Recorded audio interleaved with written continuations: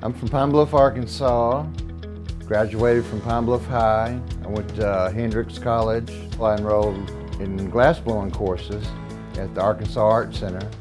I said, I'll have to try that, you know, just for fun, and I fell in love with it. And I took the course over and over for five years, and eventually I bought my own equipment and started my own business, making a living as a, a glass artist.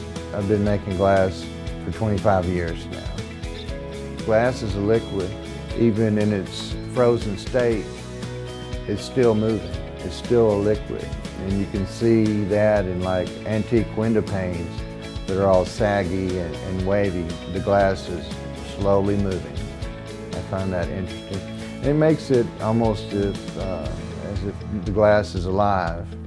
And it's really fun when you're making glass. It's alive, it's sticky, you can cut it and twist it and, and make things stick together like glue.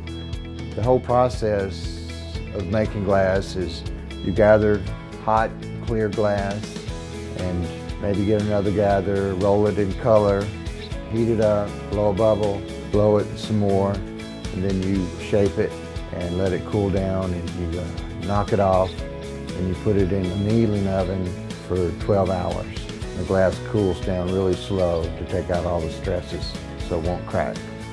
Yeah, my biggest seller and one of my favorite things to make are bowls because they can be any color, any shape.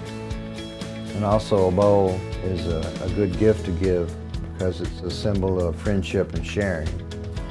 There's some uh, interesting things to see in Arkansas if you want to see art. You can start right in Pine Bluff at the Arts and Science Center. I've exhibited there several times. They've been the Arkansas Art Center, which uh, is a world-class museum. I sell glass in the museum shop there. And we have the world famous Crystal Bridges, and there's Garvan Gardens, just awesome landscaping, and they seasonally change out the plants and the flowers.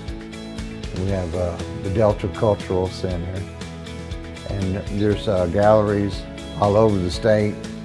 You're welcome to come visit my studio and my showroom. We're open Monday through Friday from 8 to 5. We like to have visitors.